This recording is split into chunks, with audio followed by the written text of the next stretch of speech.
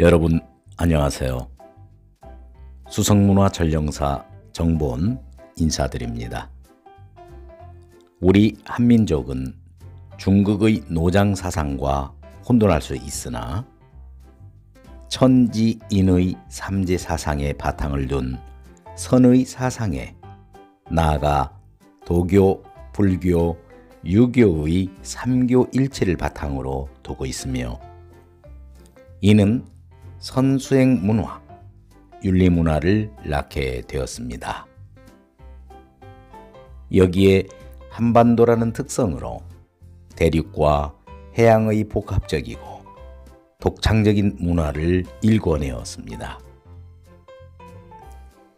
이에 자연스레 자연 사상의 바탕을 둔 자연의 아름다움과 섭리가 그대로 축경된 한 점의 돌을 통해 대자연의 위대함을 배우려는 수석의 정신은 자연 사상에 가장 부합되는 문화 형태라 할 수 있겠습니다. 자, 여러분.